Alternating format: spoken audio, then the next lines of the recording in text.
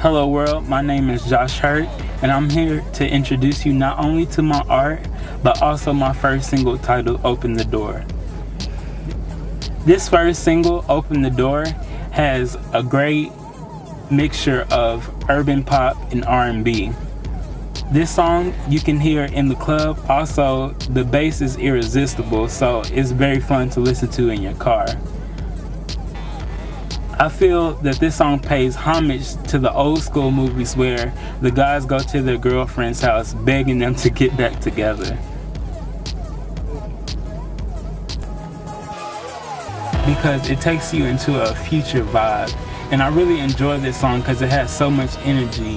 Um, I hope you enjoy this single and please look for it out on Amazon, iTunes, Rhapsody, Napster, any digital music store you can think of. It's there. I hope to hear from you soon and enjoy the single.